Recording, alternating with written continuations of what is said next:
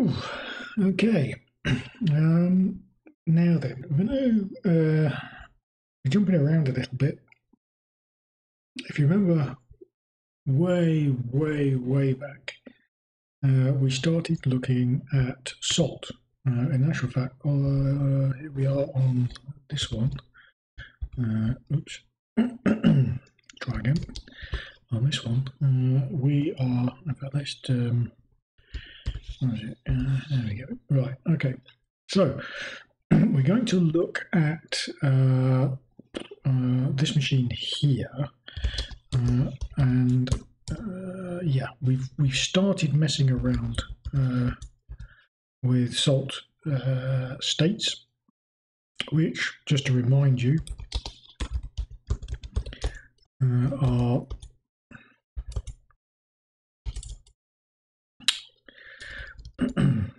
it's going to be one of those days, isn't it? Uh, so uh, salt. If we look at uh, testing for okay, you can see there just a bit of YAML, uh, which generally speaking follows the form, uh, uh, some unique identifier, then the module and function which you're going to run. So the function is always within the module. So in this case, this is checking for package installed. Now, normally there would be a name uh, entry under it, but because this is actually the name of the package, um, it's uh, it will use that by default. Okay, so this is asking us to install the package Python 3 pip. Uh, and the advantage of using this PKG module is that it's uh, a virtual module, meaning that if you're running it on, you know, Red Hat, uh, you'll use a different installers to Debian or Ubuntu. Uh, if you're running it on uh, Windows, uh, it will try to use an installer on Windows. Although in this case, it probably doesn't make much sense. Um, you, uh, if you're running it on a Mac, it'll try to use uh, uh, a Mac installation, assuming it's all being programmed that way.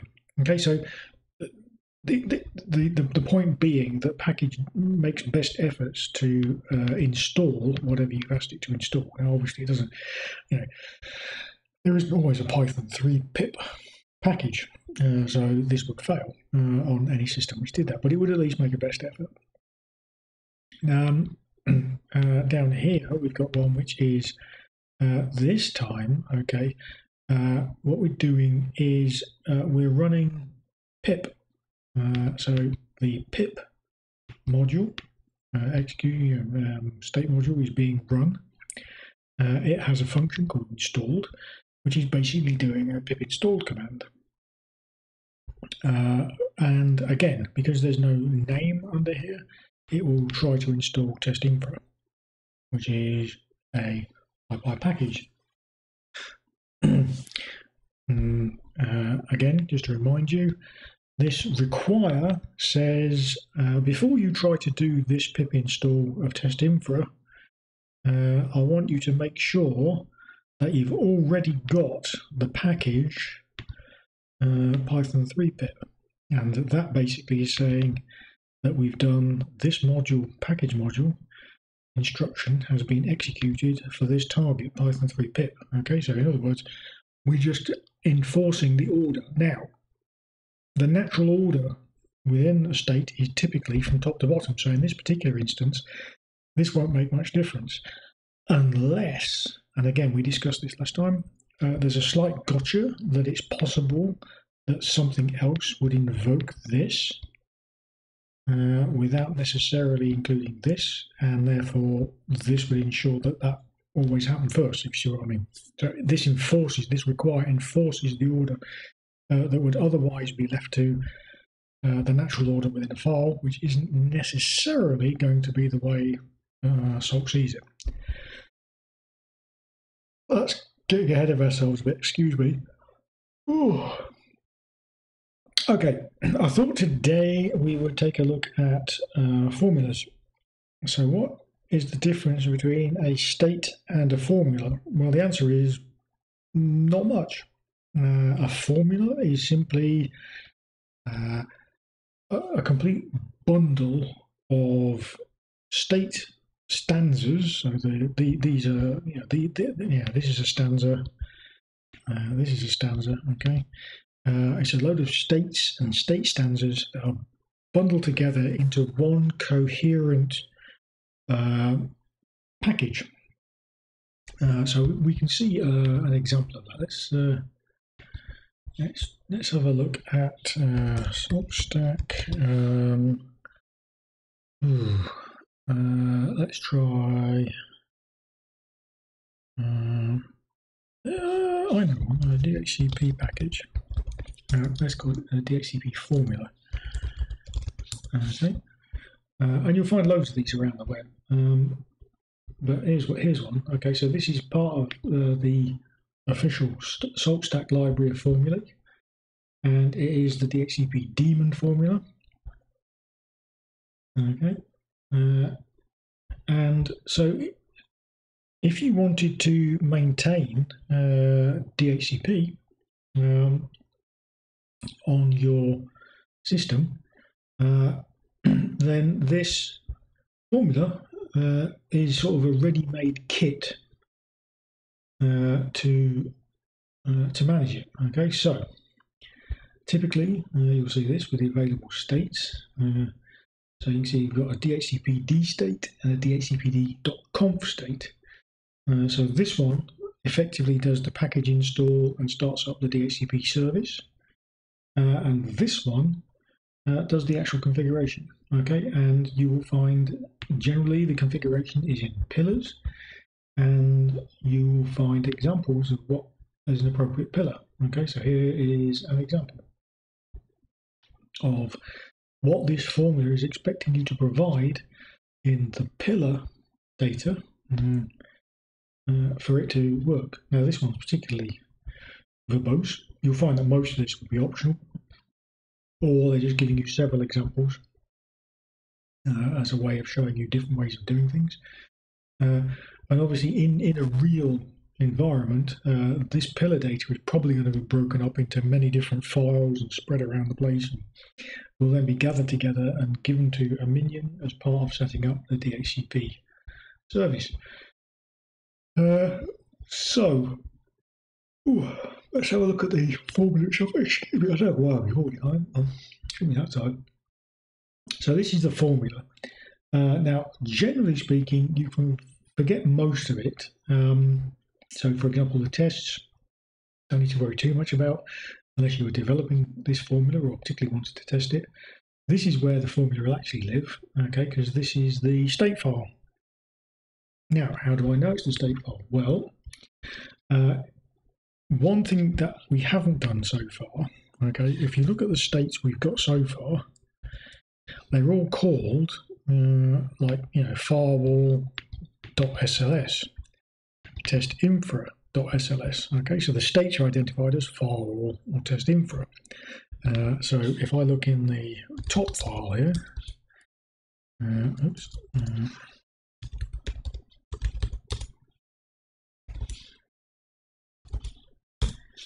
then you'll find that they're just called test infra and file. Okay, and that works great, uh, other than when you've got more complicated structures. And in this case, we've got uh, a structure where we're making public uh, the DHCPD state and a DHCPD.config state, you'll notice. Okay, so we what we could have done uh, is in here, okay, what we could have done is made a directory called test infra Okay, and then instead of calling the state test infra like that, okay, we could called it init.sls and put it inside the test infra directory. Okay, so now we've got the test infra directory uh, here, okay, with the init sitting inside it. And the init.sls effectively is the default state file. So if I were to invoke the test infra state, this is the it would first look for a test infra.sls. If it didn't find that, it would look for a directory test infra, and within there it would look for an init.sls. Okay, and that's exactly what this is doing over here. Okay, so within the DHCPD directory, uh, we've got the init.sls. So this, remember, is the DHCPD state itself. Okay, uh, and uh, this is not the state. That's a stanza within the state. Okay, uh, so all this is doing is making sure that the package has been correctly installed. Uh, this is a piece of Jinja logic. Okay, so this whole thing is a piece of Jinja logic which is basically saying if somewhere in our configuration, okay, uh, and we'll get to this in a minute. It gets a bit complicated, but bear with me. Okay, so if uh, within our DHCPD pillar, okay, we the enable flag is defined. Uh,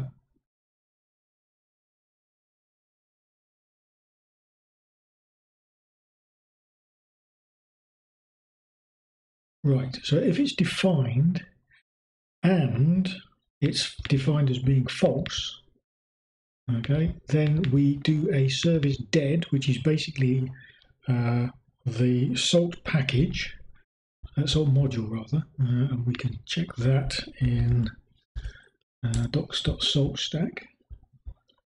Uh, and if we go to uh, all salt modules, okay, and then if we go down to salt module, uh, it's actually salt state. Uh, so salt states, okay, What's the difference between uh, a state and a module? Uh, it's just where they're defined and executed. Okay, so the states are the ones you always see in state in stanzas. Uh, the modules are execution modules. They're the bits of code that actually do the heavy lifting. Um, but we'll, we'll, we'll talk about that more later. So okay, so here we were running the service state module. Okay, so if we go to states and dot service uh, here we go. Okay, and you can see uh, service dot running is one option, but service dead, which is the one we're actually doing. Okay, and what that does is it ensures that the named service is dead by stopping the service if necessary. Okay, so because we've said DHCP enabled is false, i.e. it's not true, uh, then we want to make sure that the service is dead. Okay, so we make sure that the thing dhcpd.service, which is another pillar value, okay, and this is a bit of Jinja, which makes sure that value gets put in as the name, which is whatever, dhcpd dash ICP or whatever, ISP or whatever, um, ISC, whatever. We'll, we'll, come to that in a minute because it varies from platform to platform, uh, depending on uh, your uh, service manager, I guess, to a large extent. Uh, and we say enable is false. Uh, enable being the thing which does the reboot and survival and things like that. However, uh, if the thing is either, if enable is not defined or uh, it is uh, true, oh, De Morgan's theorem, then uh, then we ensure that the service is running. So again, we've got the same service name. We enable it, so it's true. So on reboot, it will be restored. And we've got two requires here, which basically say, first of all, make sure that the server the server package is actually installed, because otherwise, how can you run the DHCP service? Uh, and make sure that the file DHCP config file is in place. Okay, so these two states are going to be defined elsewhere. Okay, they're not defined in here. Uh, right, now up here uh, is where we get the DHCP, the config, uh, the values which are mentioned down here. Uh, okay, and this is a fairly idiomatic way of doing it. Uh, we we have a map Jinja file uh, which we read in, and we give it the name based on uh, normally on the name of the package. Okay, so if we go back up here, you can see that the map Jinja file is in here. Uh, and this is going to do all of the heavy lifting of getting our configuration and making sure that it's correctly set up. Now this stuff, okay, is the stuff that nightmares are made of until you actually see how it works. And all it's really doing here is merging a load of um, Python dictionaries, really. Uh, and all, all, of this is about making sure that uh, all the fallback values for things like, uh, okay, some default values are supplied by uh, the operating system architecture, are supplied by the family, uh, the operating, operating system family. Uh, some uh, by other things, okay, and ultimately by the user who will define the, the sort of final value, if you like, um, which overrides any defaults. Uh, and that's really all, all. All of this file is all about make, managing that kind of um, set of fallbacks. So, you know, if I can't find it in my explicit configuration, can I find it in my operating system configuration of, various levels? or kind of a, some ultimate default for the package. Uh, and that is really all this is doing. Uh, we don't need to get too much into the weeds on that. Uh, um, so that, that is all about, uh, all, all, of these files are all just about configuring the um, default values now, config.sls, on the other hand, if you remember, okay, this is our other state, dhcpd.config. Okay, and the dot means instead of taking the default in SLS, we take config directly. And before you ask, yes, you can chain those dots as much as you like. They're effectively just looking at subdirectories. So we could have had a subdirectory within here to do something specific. We could have gone A dot B dot C dot, you know, we could have carried on nesting them. However, okay, so uh, here's something important. Uh, at this point, Okay, if we invoke dhcpd.config, okay, that is going to include dhcpd, right? So the config is going to include the one we just looked at, which really does the package installation and making sure the service is running.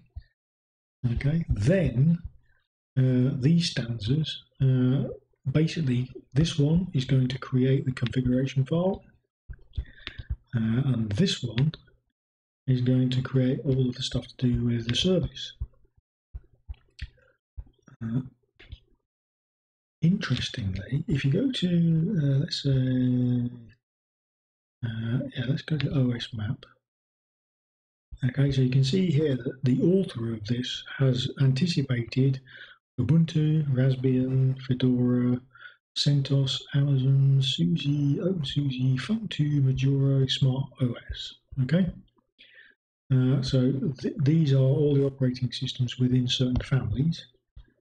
Uh, and if we then go to OS family map, okay, so here you can see that for Debian, uh, we expect the DHCP config to be in slash etc DHCP. Same for Red Hat. If you're on SUSE, it's just directly under ETC. Uh, uh, on Gentoo, it's under DHCP directory again. On Arch, it's the same as on SUSE. Uh, we've got nothing to say about Alpine and the various others.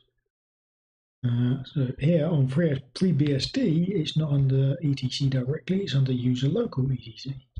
So you can see this is how the configuration layers work, okay, is by making sure that um, the particular operating system group or family, uh, it will change the configuration.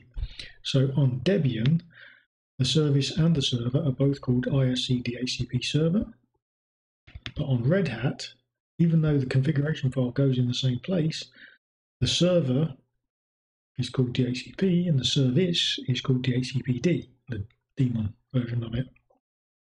Yeah. Uh, whereas the uh, DHCP daemon configuration is the same on Red Hat and Debian. Uh, they're different in terms of where the service configuration sits. So for uh, Debian, it sits under etc default ICP server. Uh, for Red Hat, it's under systemd, system DHCPD server. Right? Uh, so you can see uh, this is how uh, Salt knows about all the different variations uh, for these settings. Okay, and ultimately, uh, these this is the default value that are assumed if you've not overridden them in your pillar data. Okay, so again, the pillar data being DHCPD. Okay. What are what, what else we've got under files? We've got these will be the templates, okay, for the various configurations. So, for example, the service on Debian, uh, we've got uh, yeah, it's just a load of um, uh, variable settings basically, most of which are commented out. The only one that really matters is what interfaces uh, Debian should, uh, sorry, the DHCP should attach to. If we're on Red Hat, then this is defining a systemd uh, startup. In actual fact, that goes to show just how dated this is, I guess, because uh, most Debian now is systemd based. In fact, you can see here this was last updated some time ago. Uh, having said that, Debian has been uh, it's been more than five months. Ah, anyway, and you can change this, of course, once you've once you've got it uh, in place. In fact, if we go to issues uh, or pull requests, maybe there you go.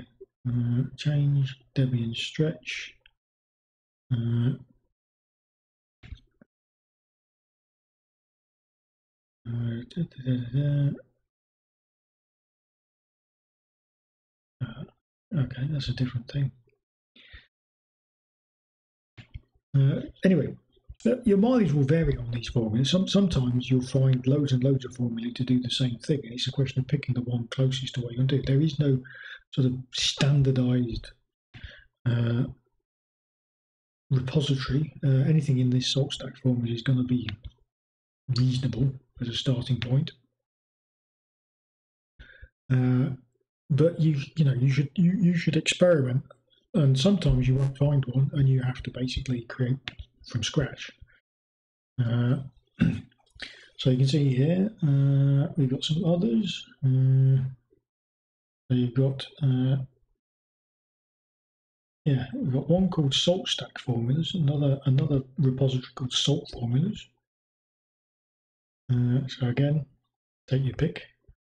Uh, we got plenty. Okay, so here's a formula for Docker. Uh, and uh, this was updated on the 16th of March. And uh, right, so we can configure the host, we can configure the swarm, we can configure various client configurations. Okay, and again, it'll all be done through Pillar. Uh, uh, okay, this one looks like it's a fairly sophisticated setup. The other thing to look for is who who is principally um, you know, managing it. Uh, the other interesting thing about this one is you see these underscores here uh, these will be new bits of Python code. Okay, so this will be a bit of Python code that will gather data about the swarm. Uh, then you've got uh, a new module, uh, Docker NG service. Cool. Okay, so this is a new module um, which will be one of the execution modules we talked about. Uh, then you've got a new state module uh, for managing Docker ng.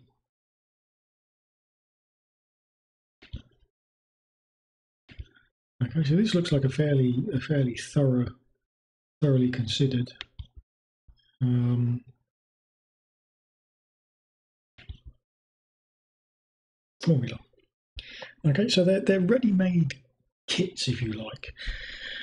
Now, what about using formulae? Right, to use a formula, um, what we need, what we're generally going to do is uh, we're going to have a directory called formulas underneath this uh, SRV directory. So remember, we've got pillar for our pillar data, we've got salt for our salt data. Test is something that I made up, which is for testing my infrastructure. Okay, but under here we will have a formula directory. Okay. Uh, now you can do it singular or plural. Uh, now you'll notice that so far we've been using singular for everything. So okay, let's keep it consistent. So it's singular formula. Okay, and all you do is if you want to uh, use a formula, okay, uh, you just need to take this repository as it is usually uh, and clone it into your formulas directory.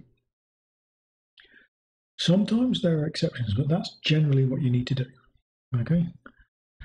Uh, and in this case, I would guess that's exactly what you need to do. All of this stuff will take care of itself. Now, the other thing uh, to consider is uh, how you're going to maintain your formula. Personally, I would never use uh, the salt formulas repository directly. I would always fork it into my own area and then I would use, I would clone my own controlled area. Why? Because otherwise you have to be very careful about when you update uh, your uh, cloned version in your formula directory because updating it uh, might pull changes from this upstream that you don't want. Uh, so it's much better, albeit with something of an overhead, to have your own fork repository uh, with this one as the as the upstream, and then clone from that to your uh, SRV formulas directory. Uh, that way, if an, an, update occurs in the upstream repository, you simply pull that into your uh, forked copy, okay, uh, and then take that forked copy, and then you can pull that into your clone copy as and when you're ready. And that gives you a buffer and much more control. It also means that if this repository were to disappear for some reason, uh, like for example, uh, uh, if if uh, yeah, if if they suddenly decided to stop supporting this formula uh, and they decided to get rid of it and delete the repository, then you're up the proverbial creek, okay? Because uh, you don't have a copy of it anymore, other than in your formula area. Now, you can, of course, push that into your own copy, blah, blah, blah. But if you've got your own forked copy, you've got nice, nice stability, you don't need to mess about. And that becomes particularly important, uh, you know, when you're dealing with large, infra- large complex infrastructures. You really want stability, and personally, having your own forked copy of all these formulae uh, in one place uh, is better. And to be honest, better even than having it on GitHub. If you do have it on GitHub, I would still maintain my own local repositories, uh, A, for performance reasons, particularly if you're working in the cloud. Um, it gives you a lot more control and it gives you uh, within the private network of your cloud. Uh, do all your work on that. And if you really want to maintain a public copy, then you, maintain the public copy and you can push any changes back to your public copy through your normal CI/CD you know, release process. Uh, again, it adds some complexity, which seems overkill when it's just a single man operation, then you're kind of like, oh man, really? You know, I'm going to have the original upstream, I'm going to have my fork on GitHub, then I'm going to have my own local development repository, uh, you know, sitting on my internal network, and then I'm going to take that into my actual Saltmaster. Uh, and the answer is, yeah, why not? Uh, most of your development work will be done on your local repository copy. Uh, in fact, let's uh, let's get this out because me mumbling about it, oops, uh, it's probably not helping much. Let's, sorry, Kenny. Oh, I know what a bastard I am for disturbing you. Uh, let's try and find a. Oh, right. So, what am I talking about? So let's say we were going to do this um, salt formula for Docker. Okay, so on GitHub, okay, we've got the salt stack uh, slash what's it called? Uh, salt formula Docker. Salt dash formula dash Docker that we want to use. Okay, which is great. Cool. Okay, fine. We're going to fork that, okay, to our own. Let's call it the salty vagrant salt dash formula docker. Okay. Now we could take that directly, okay, and clone it into our saltmaster at srv slash formula slash uh, salt formula docker. Okay. Uh, and it will then be ready for us to use. Uh, and I'll talk about the final step of putting them into our configuration in a minute. So that that's perfectly legit. Okay, uh, and our work process there would be, um, you know, we'd have our developer environment over here, uh, and that would be also a clone copy. Okay, we would make any changes to it. We would then push those changes back to our SV salt formula, okay, and then pull them uh, onto our salt master, and that would be our, our local loop, as it were. Okay. Uh, and if we wanted then to take those and give them back to the community, okay, we could do a pull request. Uh, pull, pull request, oh, pull request back to here, and they could adopt them uh, if and when. Okay, so that is a perfectly legit life cycle. I'm suggesting, in actual fact, for most purposes, I would want to do one more step. Okay, so instead of cloning from there, what I would do is I would effectively fork, although it's actually going to be a clone, okay, onto my local repository. Uh, so local salt formula docker, okay, and this would be my local repository, and then my developers okay, would, would work from there. And I would, instead of cloning from my GitHub one, I would clone from, uh, I would clone from this local copy. Uh,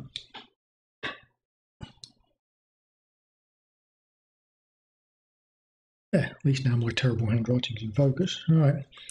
Um, yeah, so I, so instead of working from my from my GitHub, Okay, so all of this is in GitHub. Okay, and this is on in my local network. Okay, which I would assume would be uh, a close network uh, to my clone. So this would be within my control. Why this second? Well, yeah, why do this step here? Uh, the reason I would advocate doing this step here is because if GitHub goes tits up for any length of time, uh, you are completely out of control of being able to update your formula. I mean, not strictly true, because in theory, you could do a bit of a Heath Robinson jobby and do your update directly like that.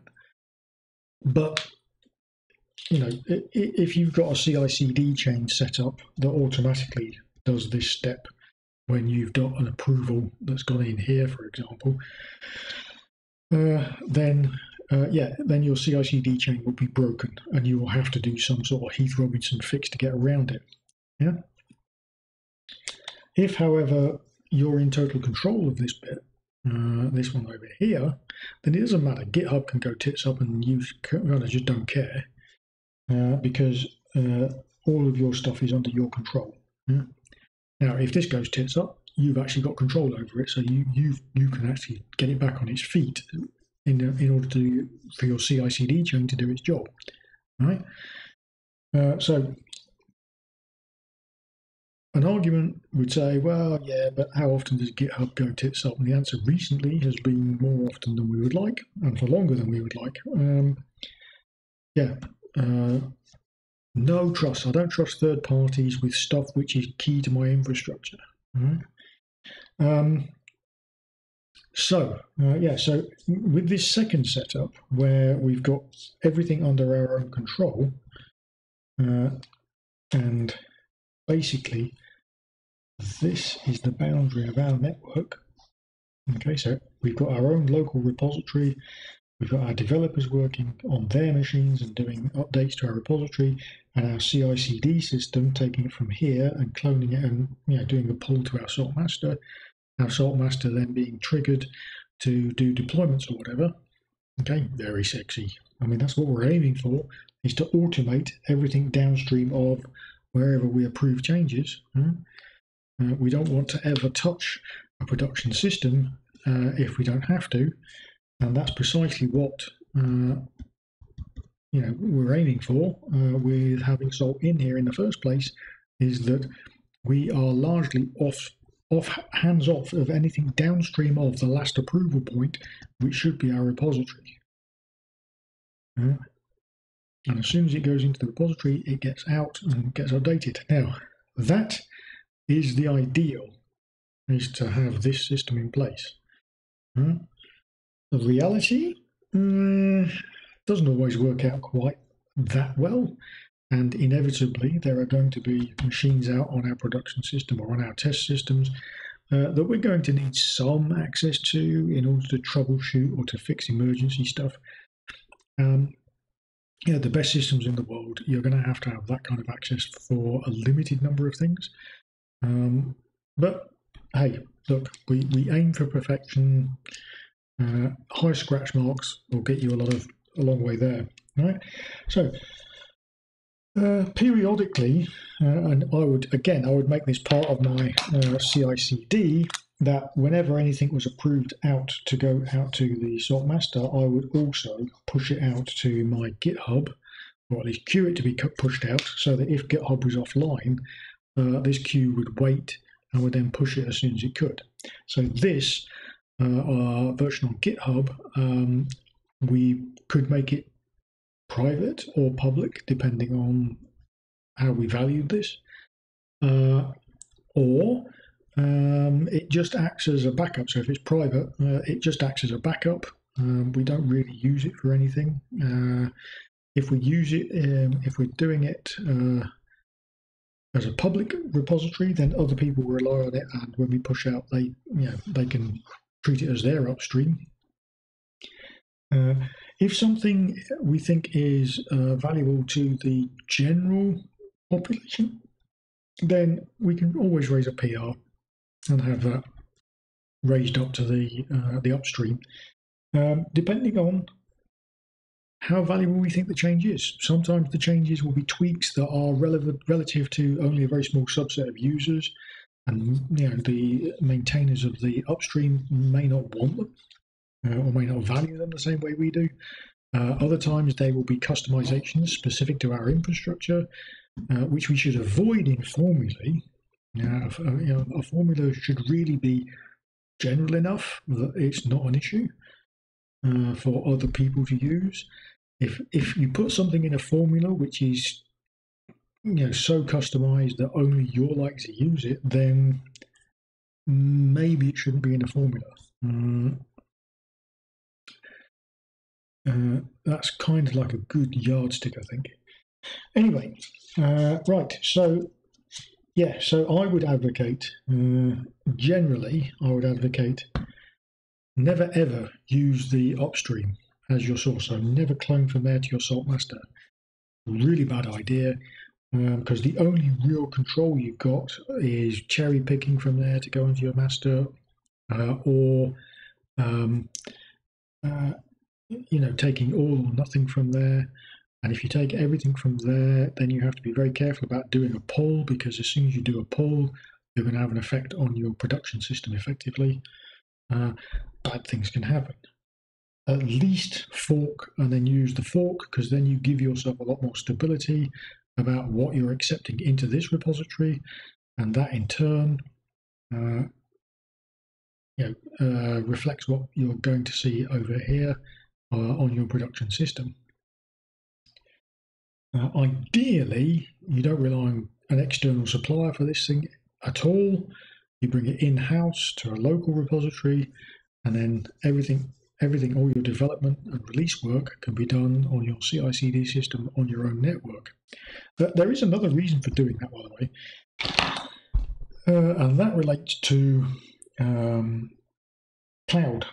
Uh, if you are working on cloud, okay, then there are costs associated with anything that goes across uh, from your internal network, uh, cloud network, outside, uh, and this would therefore be an additional cost for transferring data between these two systems.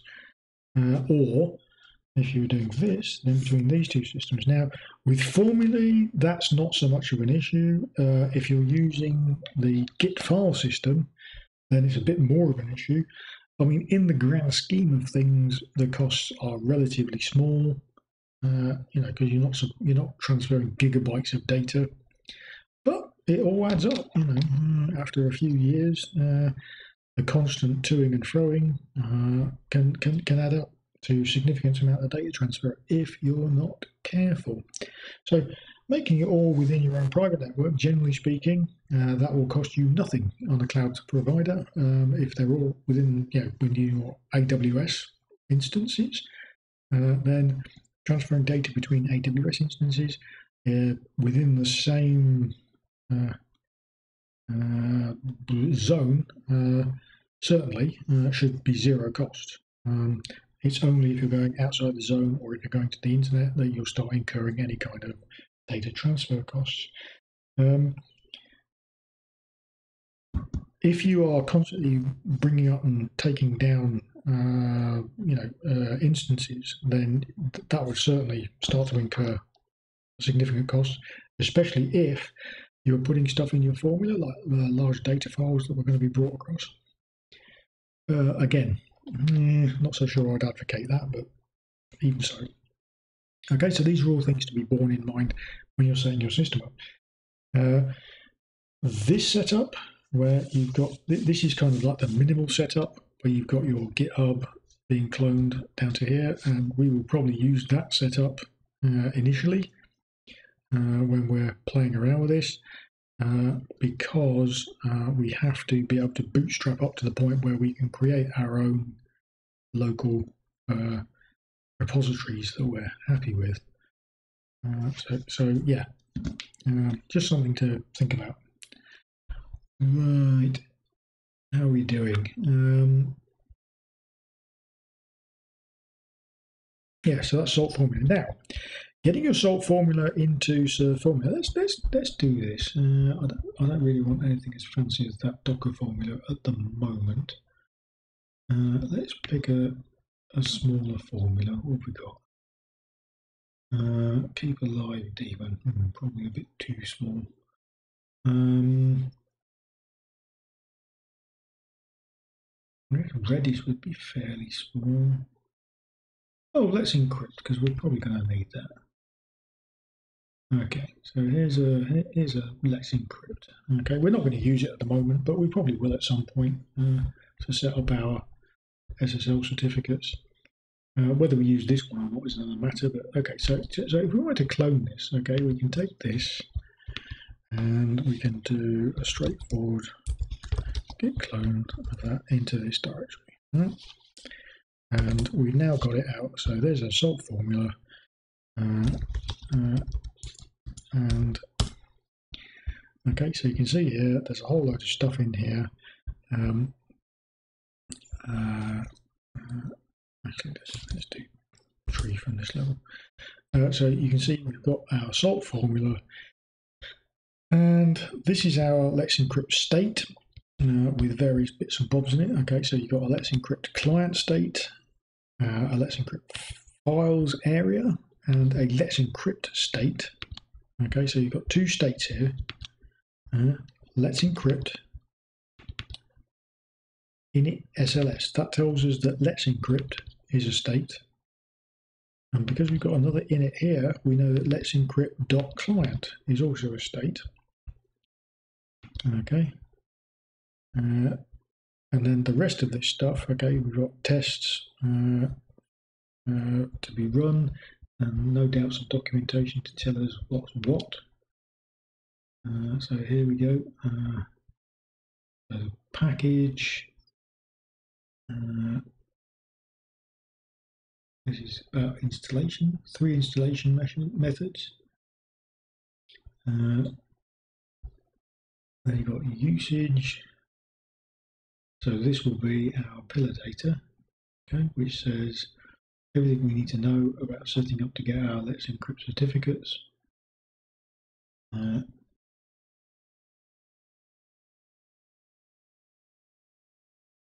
yeah, anyway, I'm not too worried about the details.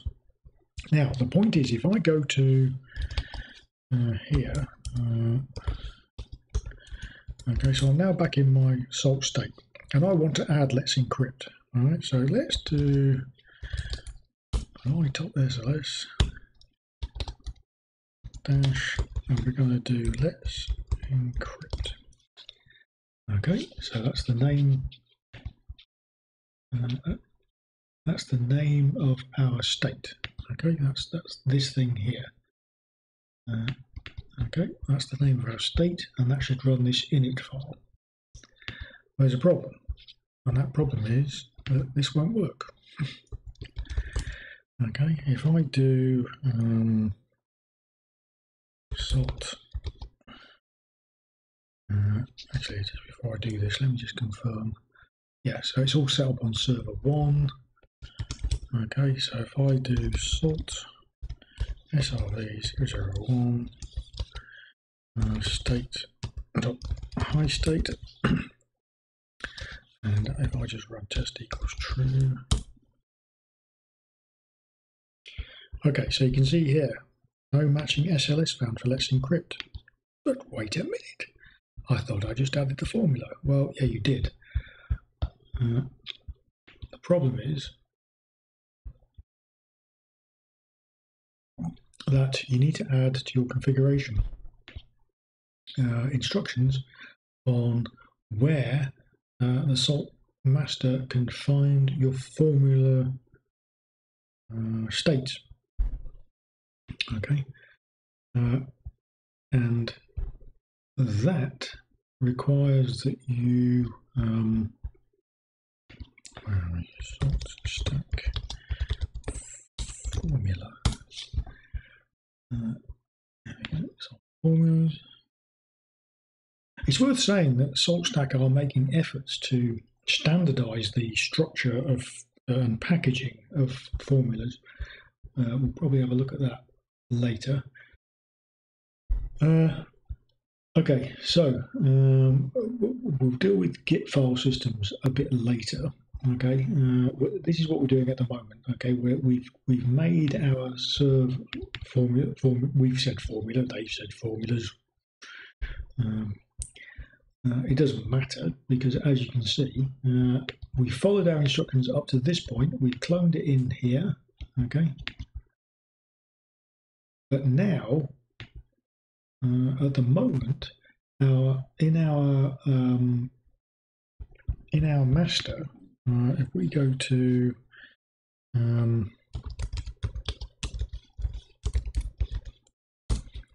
okay, so if we look in here uh, and go to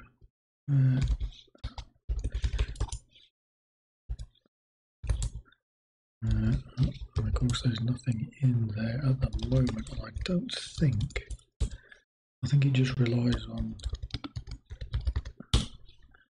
Yeah, it's just relying on the on the default at the moment.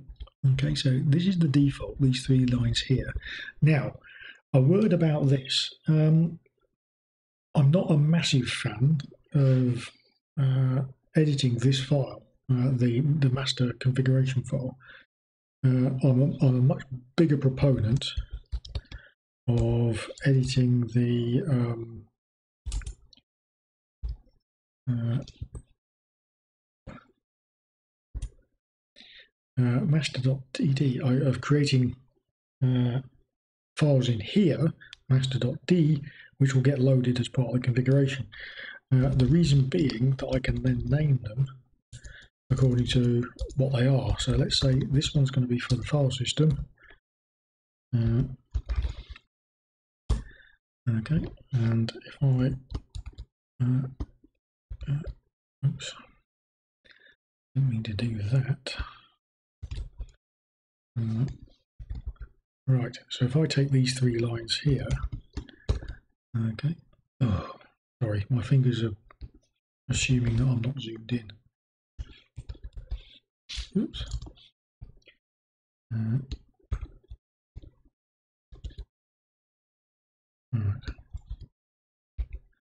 Okay. Um, yeah. Okay, so these three lines here, uh, and of course it didn't bring across the one because that would have been too easy. Uh, okay, so you've got file root, base, and then so this is the default setup, uh, which is going to look in that serve salt directory for any states. So if I mention a state X, it's going to create slash serve slash salt slash X dot SSL, uh, SLS. If it doesn't find it there, it will construct slash serve slash salt slash X slash init dot SLS and try and find it there. If it doesn't find it there, then it will fail. And that's exactly what's happened so far. Right? Now, to add our Let's Encrypt, we need to add serve formula. Uh, now, we can't stop there. Uh, we can't stop there because if we stop there, it will try to construct slash serve slash formula slash let's encrypt, which we know is not right. Okay. Uh, if I go uh, if I go back to formula, if it constructed slash serve slash formula slash let's encrypt, you can see it wouldn't find it because we've got this salt formula there. Okay, what we need to do is put slash salt dash uh, formula uh, formula dash let's encrypt uh,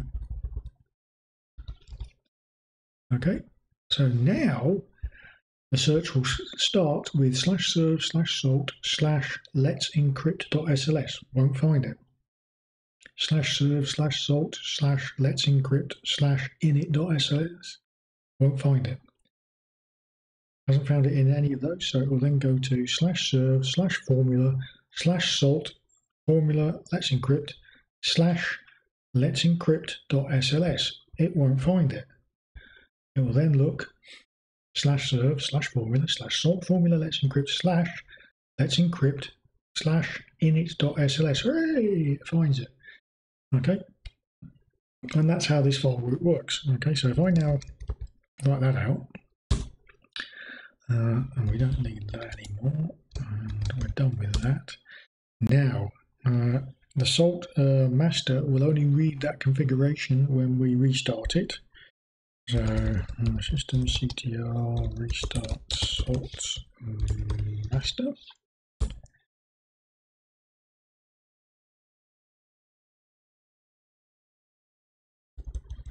And now, hopefully, when I try to do this state,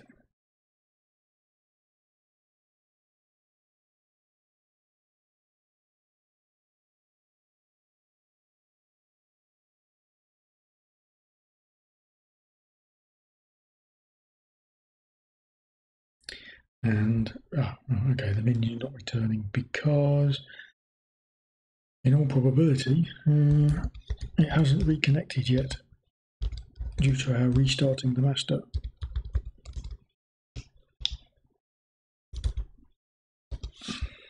And life's too short to type that number in.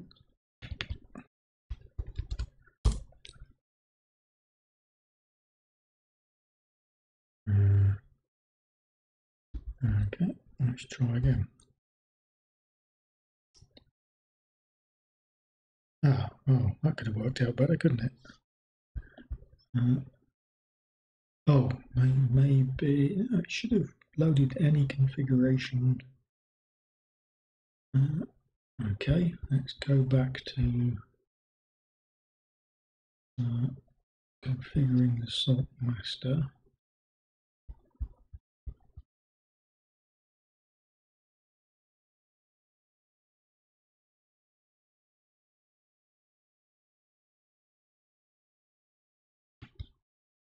Uh, I thought we just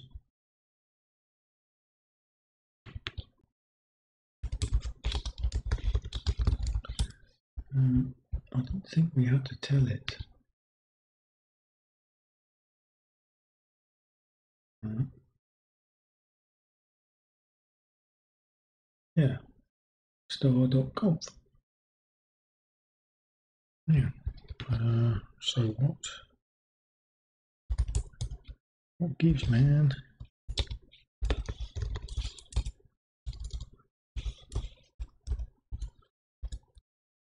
System.conf. Uh,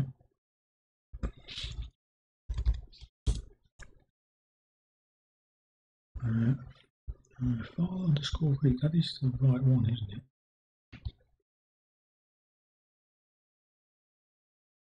Uh,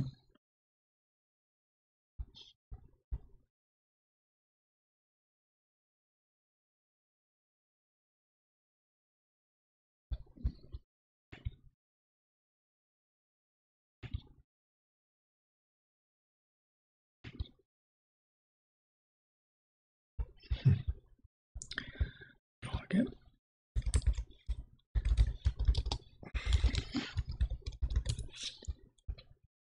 I haven't imagined that.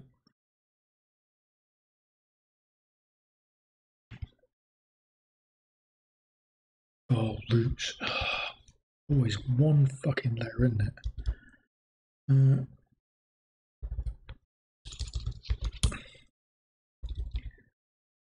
makes sense. Right. Okay. Oh, no, that still won't work because we've got to do that. That was what I intended to do. I missed by one up movement.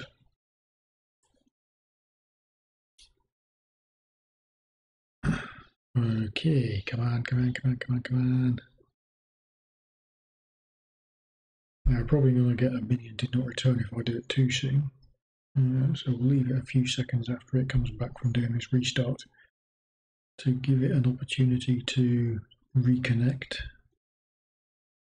And let's give it a go. Uh, oh, look. Uh, cool. Okay, so we're at least getting an error now, which is consistent. Uh, and the reason it's giving us this error is because uh, I've obviously been screwing around with something in the firewall state, uh, which uh, is wrong. However, if I do uh, let's encrypt, I mean, th this isn't going to work because we've not set up any pillar data for it. There you go.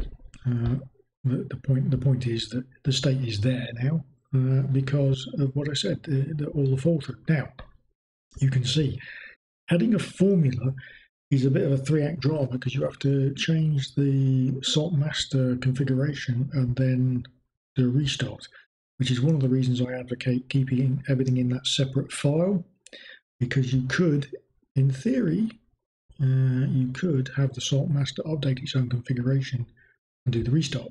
Right. Uh, hopefully, adding new formulae is not something you're going to do every day, uh, but uh, it's you know it's possible it's something you need to do. Now, there is something else. Here we go. The Git file system. Uh, I'm not I've got to say, I'm not a huge fan of the Git file system. I'll explain why in a second. The idea behind the Git file system is you specify these remotes, okay, and you can specify formulae as remotes, okay. Again, uh, whenever you add a remote Git file system, you're going to have to add it to the master configuration and then restart uh, the uh, salt master so you know you still you've still got to restart the salt master using the Git file system. Uh, the idea behind the Git file system is that every, uh, I think by default, every 60 seconds, the system will poll any remote repository mentioned in the Git file system. And if it sees a change, it will automatically pull that change onto the salt master uh, and cache it on the salt master. In other words, it maintains a working copy on Saltmaster, uh, which is all fine and dandy. Uh, uh, so the next time you run your Saltmaster states, it will pick up whatever is in the cache, uh, which is great, uh, but strikes me as a little bit pointless if you've got a proper CI/CD system set up. If you are uh, doing uh, if you've already got a pipeline set up where your build system uh, is verifying that everything is pucker for this new formula or new state to be deployed to the salt master, then surely uh, you just have your build system do the git pull onto the salt master. I mean, God, you could even have salt do it itself um, as, as part of that step. Um, you, could have the minion, if assuming you've got a minion running on your salt master, which yeah, why wouldn't you? Um, you know, you could have it update the slash serve slash salt area or slash serve slash formula area, whatever. Um, you know, as part of that process. Uh, so the Git file system seems a little bit redundant. Uh, and the, the overhead is that you've got it constantly polling. So if you've got 20 or 30 formulae, uh, uh, or you've added in Git file system remotes for substantial sections of your uh, salt state, um, you know, slash serve slash salt, uh, then you, you know you're going to be constantly hitting these repositories, and if those repositories are external, uh, see our earlier conversation. Um, you know that that traffic all adds up, uh, and it's an overhead uh, on your network and on your system. Uh, sure, it's a small overhead, it's a trivial thing. Um, but what, why, why bother? You know, I don't get it. It's there if you want to use it. Um, I'm, I'm, not a huge fan. Uh, I, I, think there are better ways of doing this without having all the problems associated with the Git file system.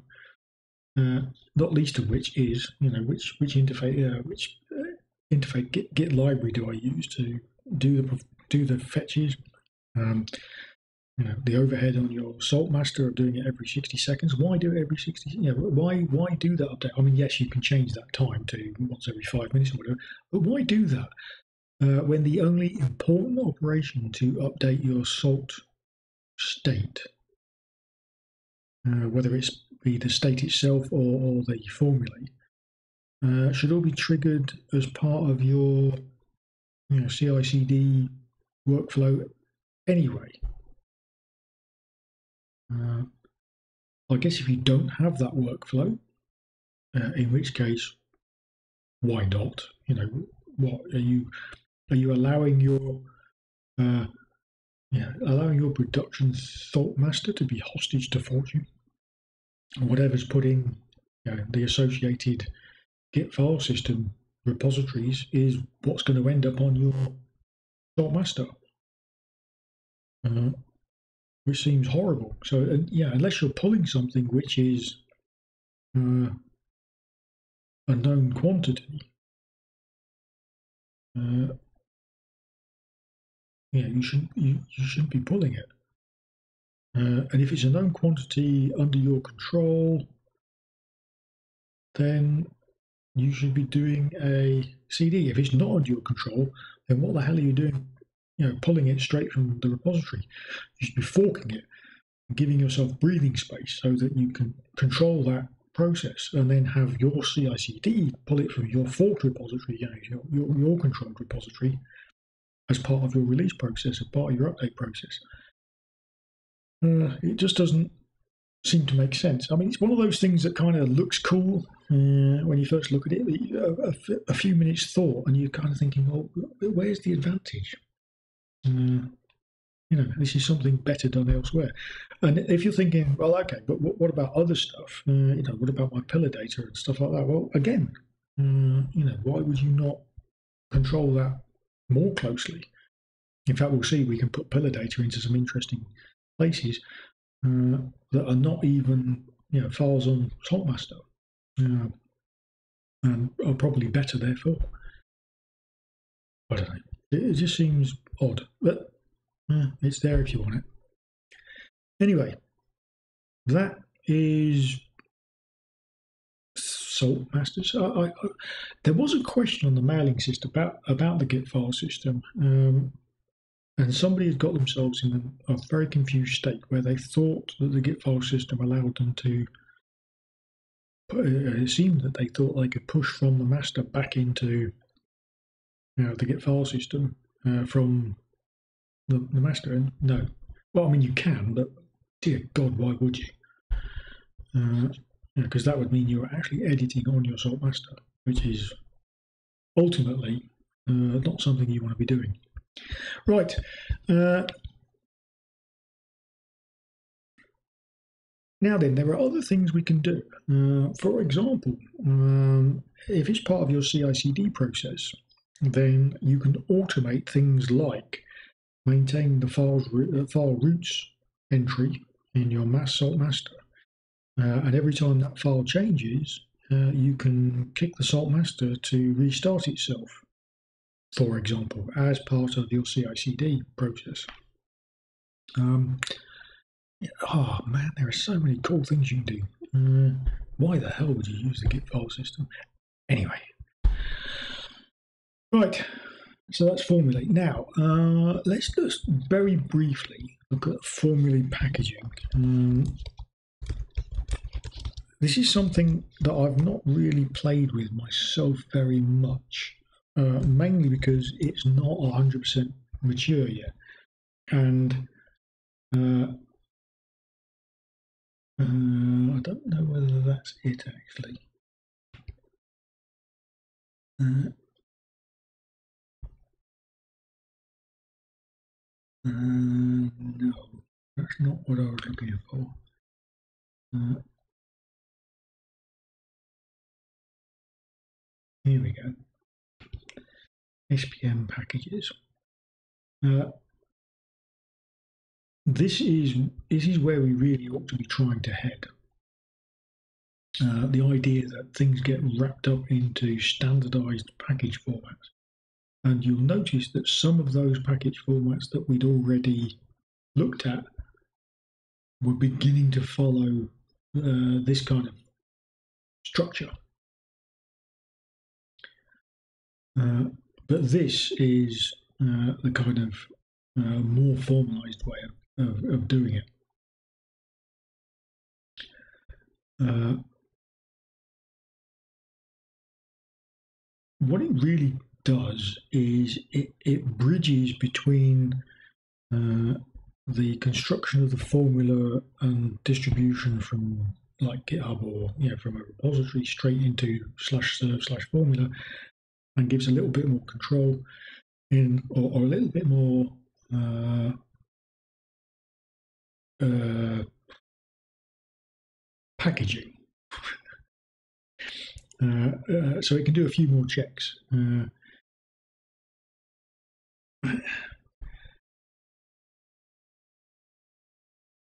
yeah.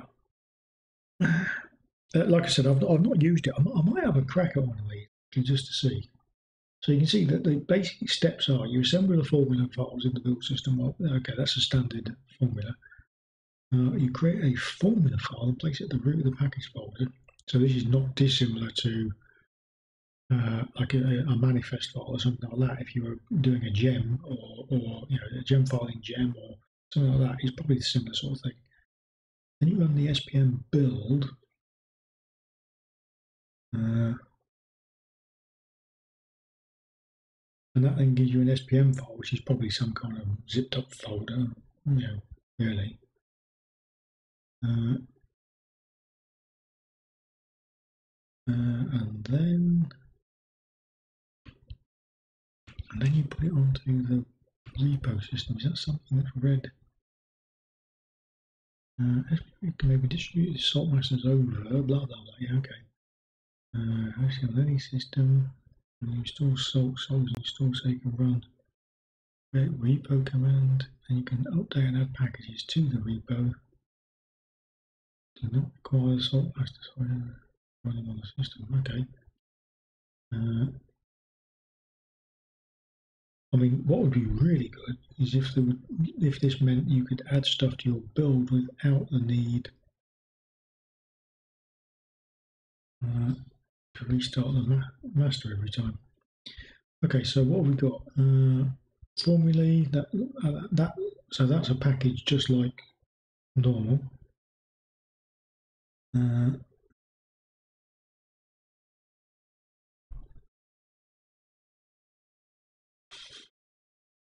Oh, that's a bit scary, okay. Uh, reactors, we'll talk about reactors much later.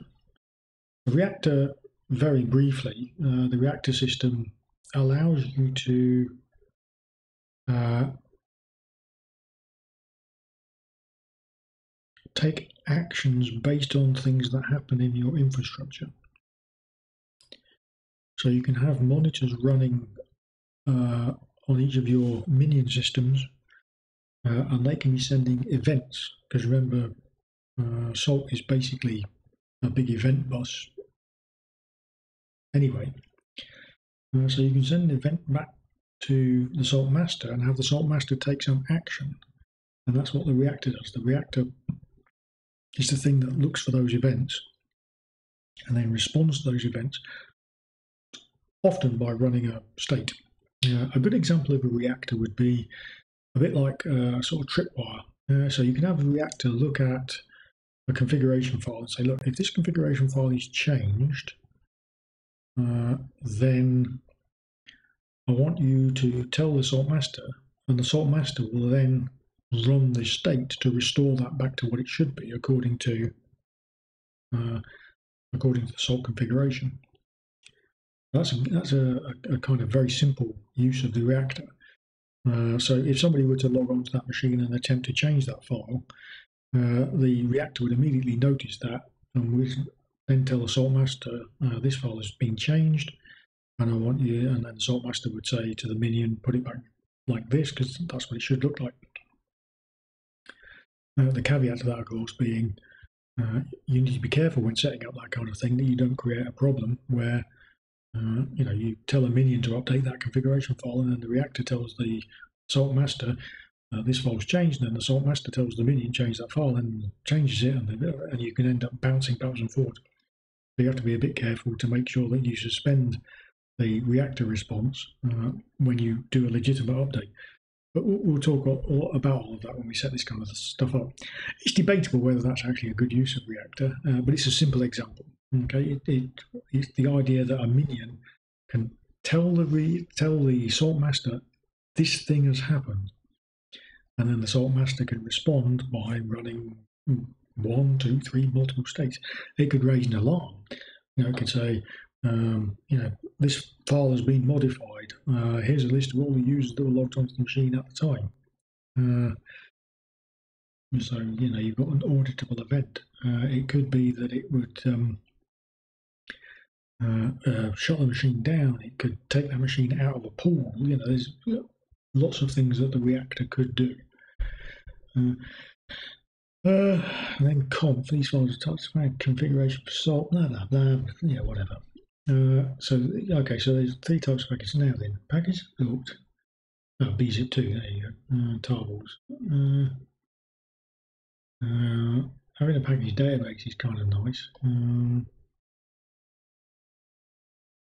now, SPM specific loader modules, here we go. So, uh, uh, package manager, yeah.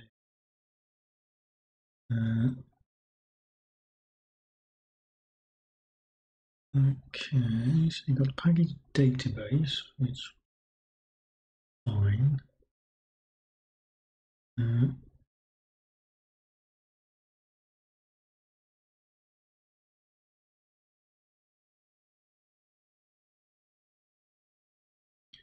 Okay.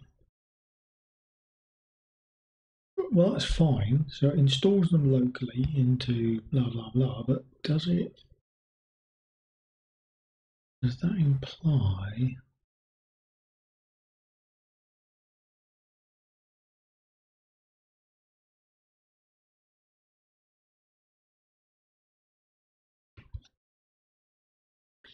So, okay, so this is setting up a repository. So far, so cool. Installing. Now, uh, they're installed on the Salt Master, good. Where they're available to Salt Minions, whatever. Uh, configuring remote repositories. Okay. Updating local repository metadata. Fine. Update file roots. Now, SPM packages are installed into blah blah salt folder. Okay, okay, so we're getting somewhere now. This is actually good stuff. So once you've added the SPM salt, you don't need to change it again. Uh, SPM does not check to see if the files are already in place. Okay.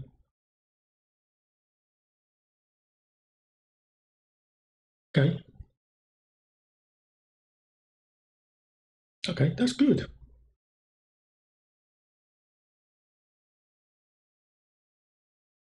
Uh, okay, we might we might have a crack at this. What it means is that that uh, this solves the problem of constantly having to update the um,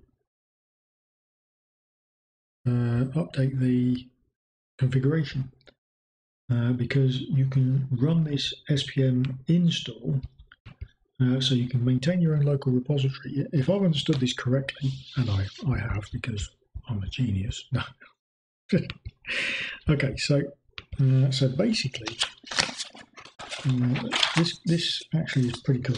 Um, it introduces a little bit of an overhead. God. Obviously, well, this is when I was doing all my network stuff. Okay, so okay, so now, uh, just by way of illustration, uh, we've got our GitHub repository, which contains our formulae. So let's say that was our original, let's say that was the DHCP one we were talking about earlier. Okay, so we will fork that to our salty vagrant version of the DHCP daemon. Right.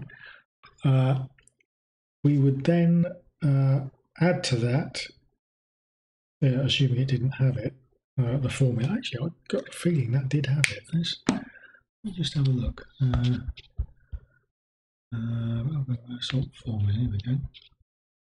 Uh, no, that was the Let's Encrypt one, which certainly didn't have it, I don't think. Uh, no, it didn't. Uh, and I've got a horrible feeling that it was the other one, wasn't it?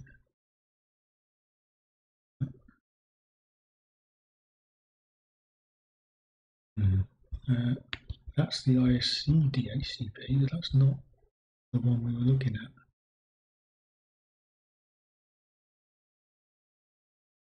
Uh, okay, let's do that search again. What was it? Salt stack DHCP.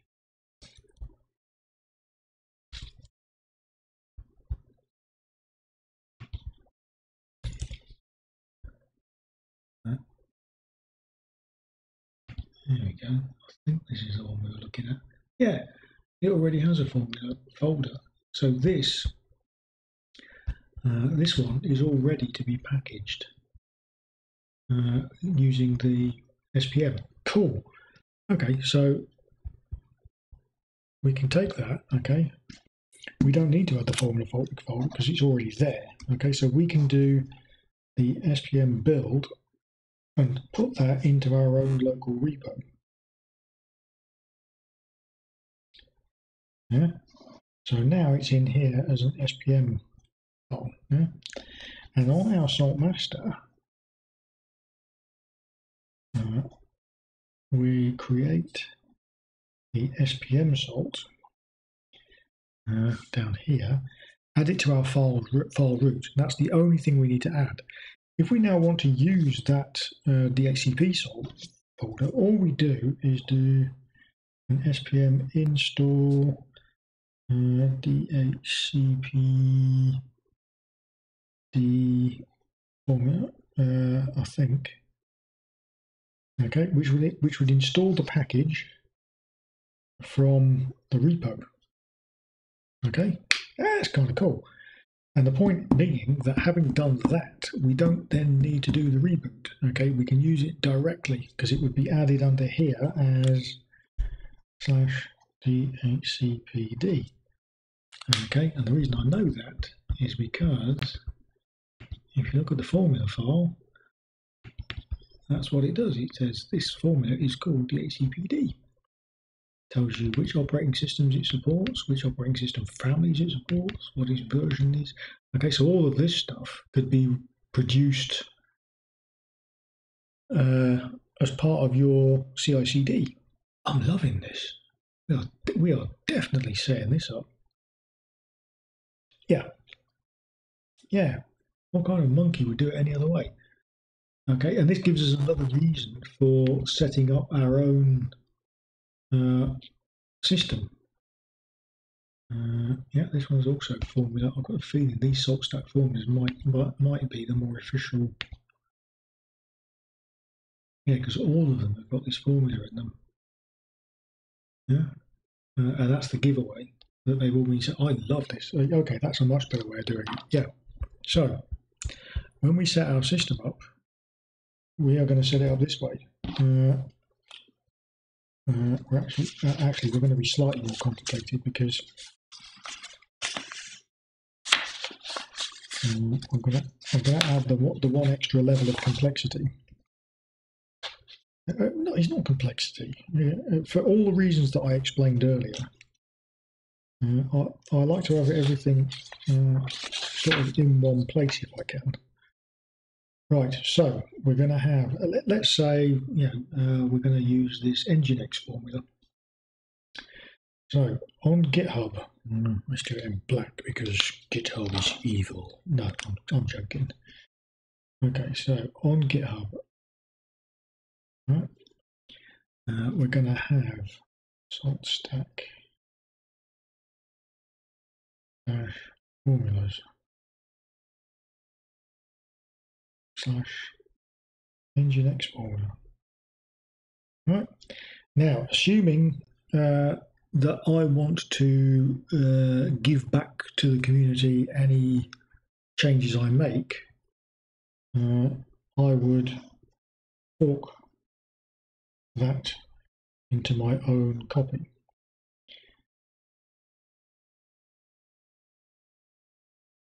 Okay, uh, and that would make creating pull requests back easy enough. Right, so any changes I made would go onto this one and then pull request back to there.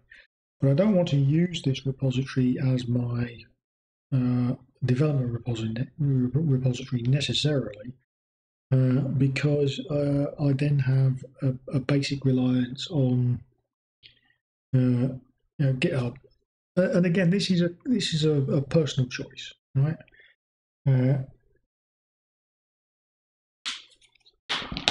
I prefer to have on my uh, environment. Yeah, I'm going to have my my repos.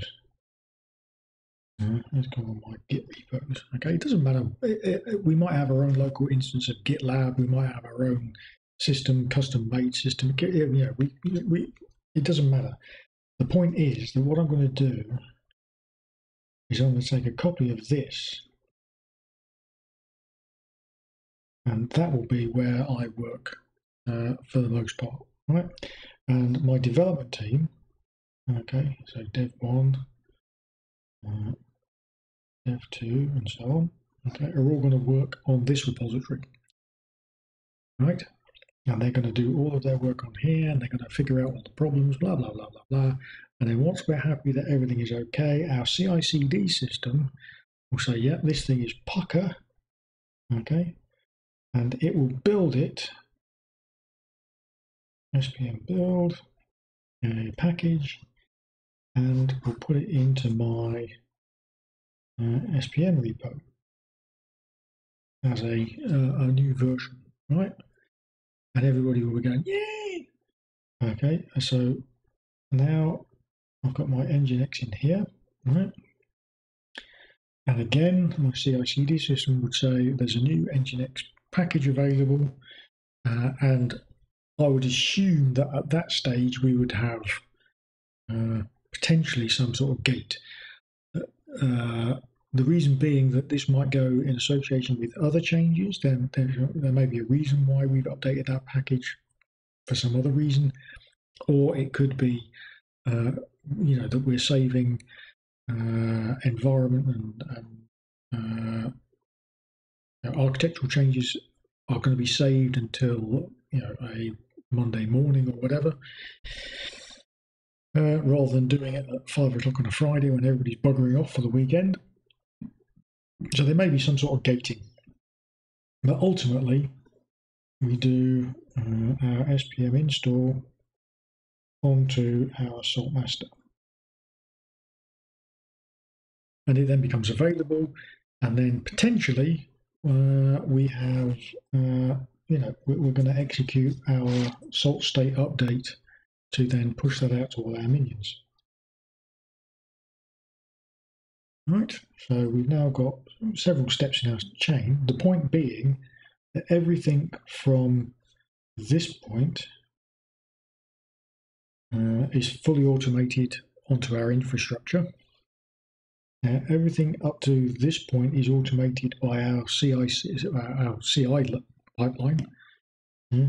Uh, this would be our CI, this would be our CD side of things. Yeah. So CI side of things would be this.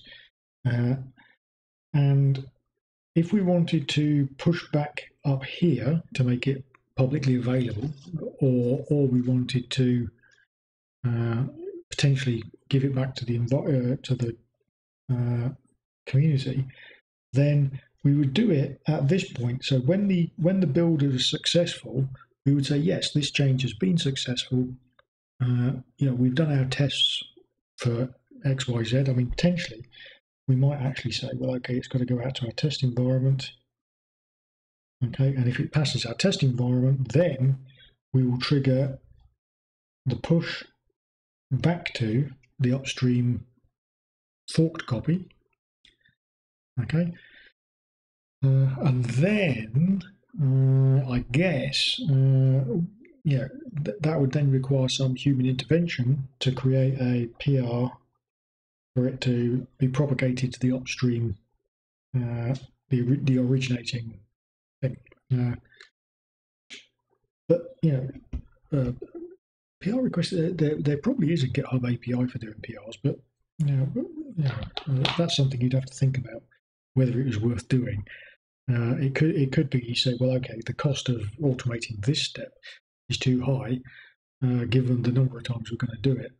Uh, yeah, compared to the amount of churn down here, is, is so infrequent, we'll just leave it manual. It's not worth investing in automating it, uh, particularly if there are stringent requirements on uh, the form that the PR should take. Uh, it, then definitely it's not worth automating because they could change. You know, the people over here could say, "Oh, well, you know, we want to change the way our PRs are structured, or you've got to provide different information, or whatever."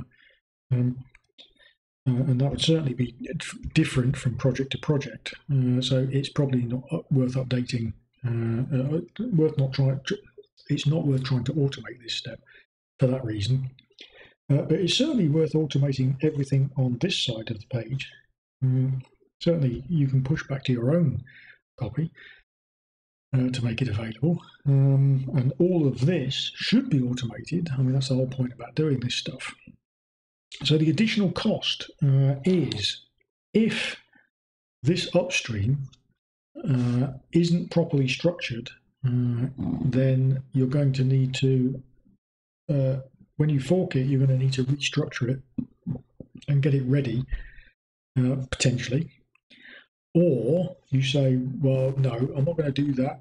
Uh, although being a good citizen of the open source network, uh, open source world, I guess that's what you should do. Because then, if people come here and go, uh, you know, I don't want to use that because it's not ready to be SPM deployed, uh, but they could find yours and oh, this one is ready to be SPM deployed. I'll I'll use this one instead. Okay. Uh, failing that, you would you you would say no. We'll keep that and that basically the same, uh, and in here we would always get this ready to be uh, SPM deployed by writing the formula file and structuring it if necessary, so that all of our downstream stuff would work from the SPM repo. Okay, uh, which would make everything downstream a lot more effective. Which then raises the question. Uh, this whole pipeline then raises the question: uh, what, Why the hell would you ever have anything which wasn't a formula uh, on your salt master in, in terms of states. Now, why would you ever have S, uh, uh SRV salt directory? You know, and the answer is there are a lot of little bits and pieces uh, on your infrastructure which probably don't warrant a formula in their own right.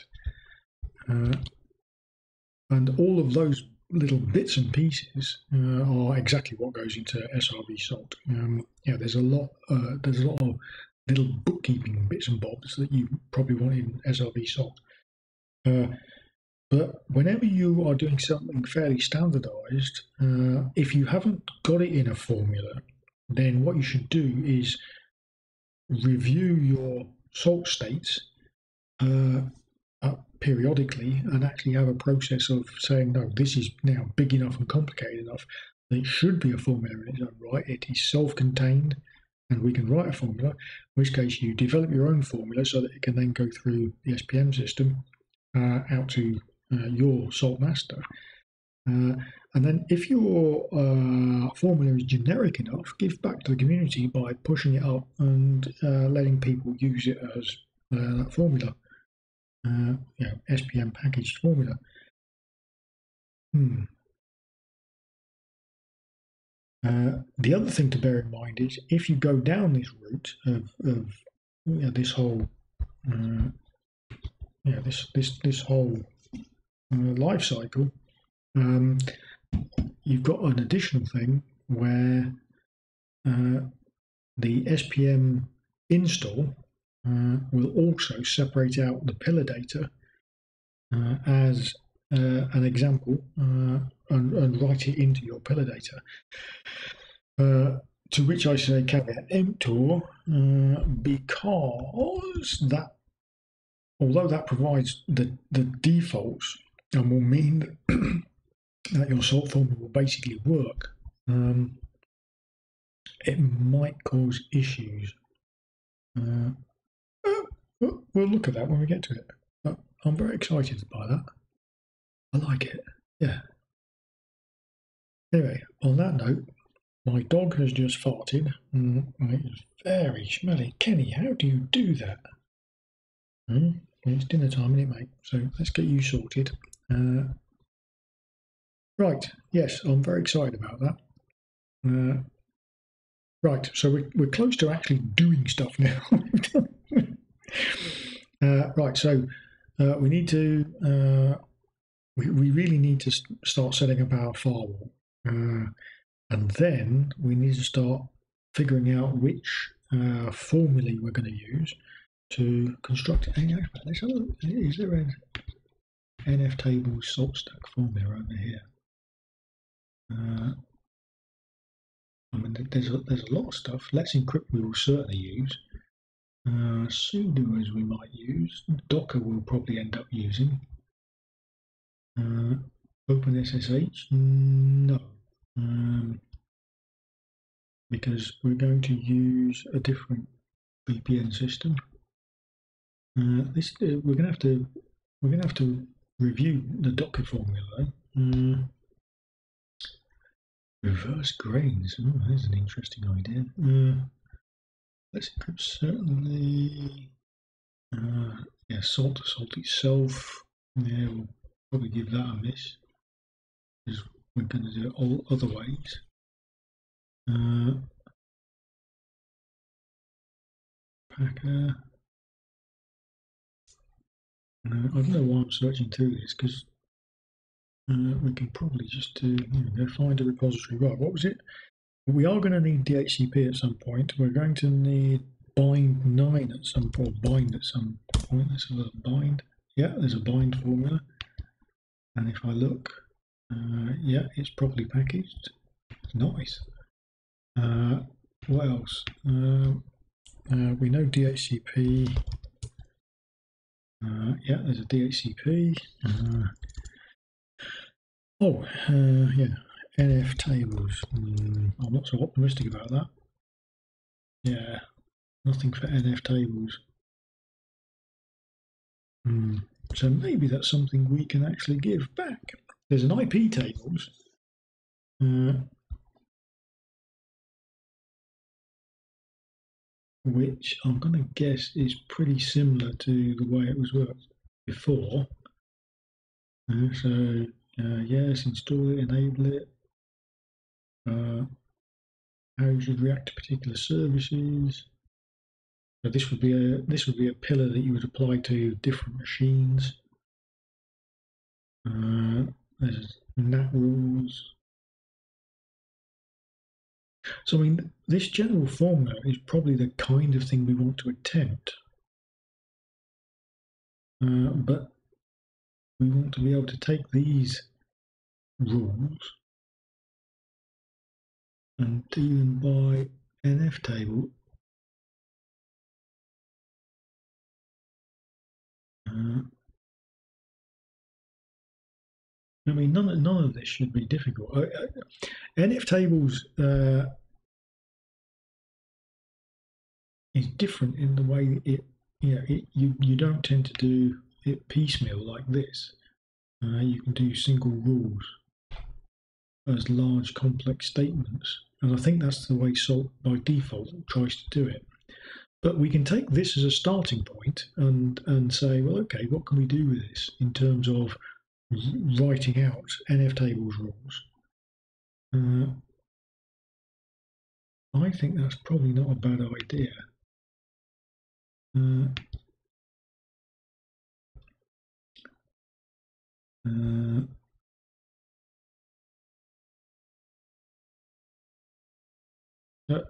I mean, a lot of this you, uh, we can use. Uh, again, it's translating it into iptables uh, uh, salt modules, and there are NF table salt modules. So uh,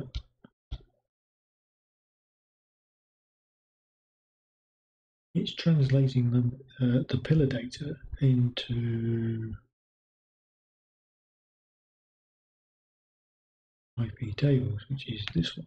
Uh, okay, so it's, you know, but that's fairly easy because uh, of the structure of these things. Right? But if we look at nftables,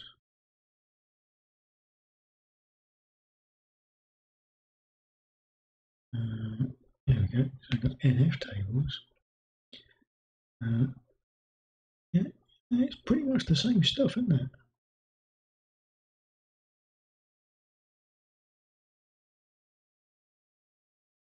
It might be really simple.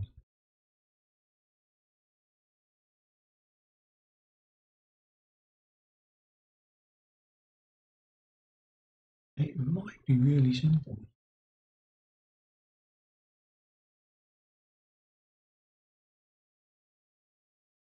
It might be a direct one for one. Probably worth, yeah, it's probably worth taking that as a start. Does it? Does this also allow us to? I mean, we can check chain present. It doesn't say anything about tables. Inserting a rule into a chain, fine. Uh, verifying that a chain exists, but what about the table?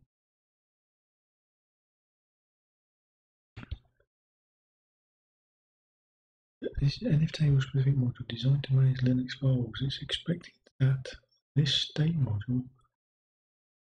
Uh, yeah, yeah, okay,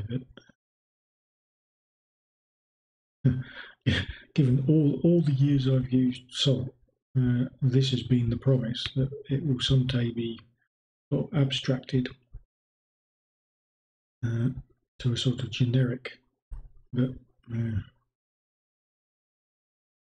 uh, it's probably worth looking at the code behind this at some point and comparing it with the iptables.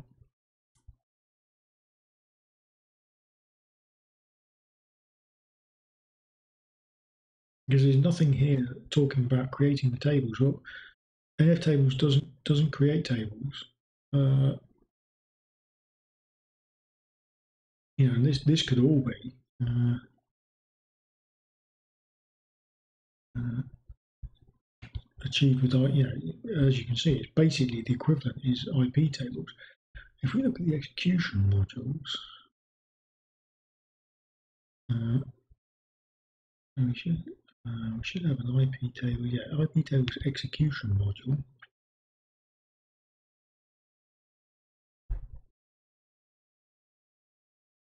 Uh, which really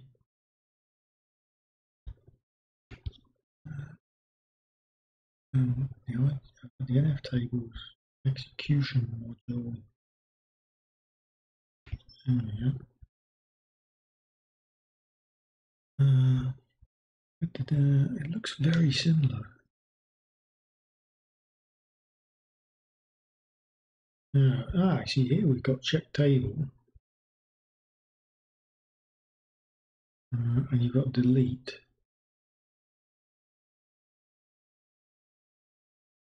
Uh, yeah. Yeah, so you've got delete table, uh, insert rule. Uh, and again, it's fairly simple because you actually specify the rule and yeah, it's basically just doing a text insert, isn't it? List tables, new new table. So so down at the module level, as you'd expect, you've got most of the facilities to do the, the low level construction. Uh, that checks the existence of each. Uh, new chain, new table, and then you've got the inserting of rules. Uh, so, so all of this stuff makes perfect sense. Um,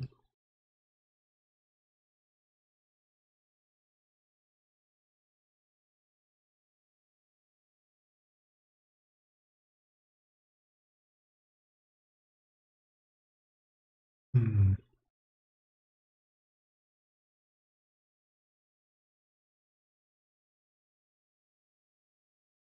But we'd have to look at the uh, nftables state module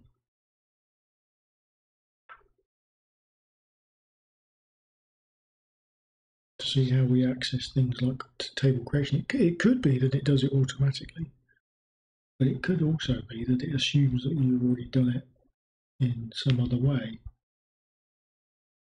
Hmm. Right, that's something to do next time. Right, okay, enough already. Uh, I'll see you in the next one.